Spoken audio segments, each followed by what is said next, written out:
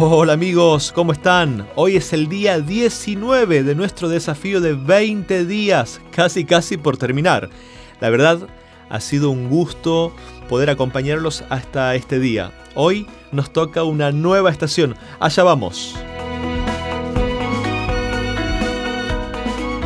Hace unos años se cuenta que hicieron un experimento preguntando a la gente si tendrían que elegir entre una máquina que adelantara el tiempo y que de esa manera se eviten esperas y que todo sea más rápido o ser invisible, ¿cuál de las dos elegirían?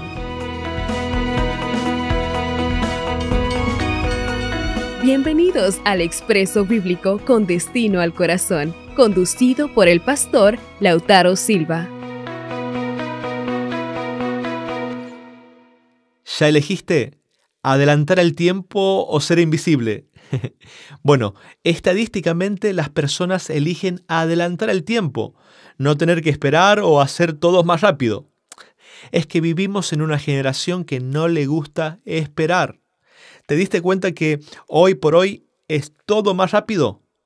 Desde pedir una comida hasta mandar un mensaje, todo es al instante es que en nuestros días no se está cosechando algo que, sin lugar a dudas, todos necesitamos.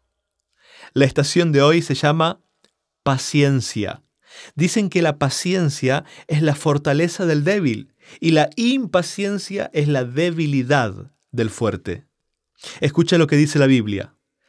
El que es paciente muestra gran discernimiento el que es agresivo e impulsivo muestra mucha insensatez.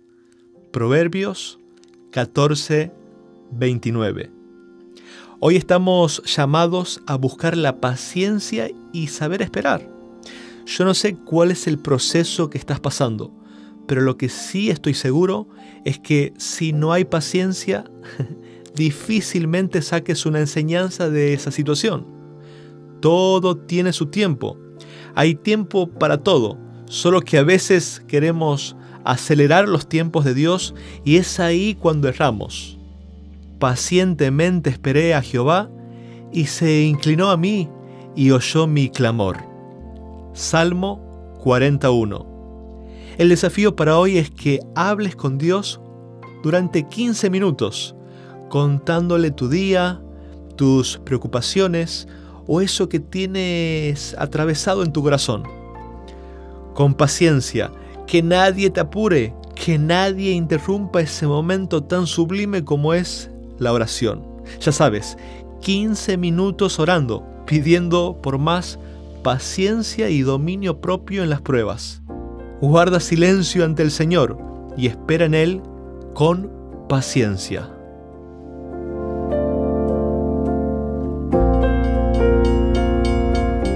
Esto fue Expreso Bíblico. Nos encontraremos en la próxima estación. Será hasta entonces. Muchas gracias.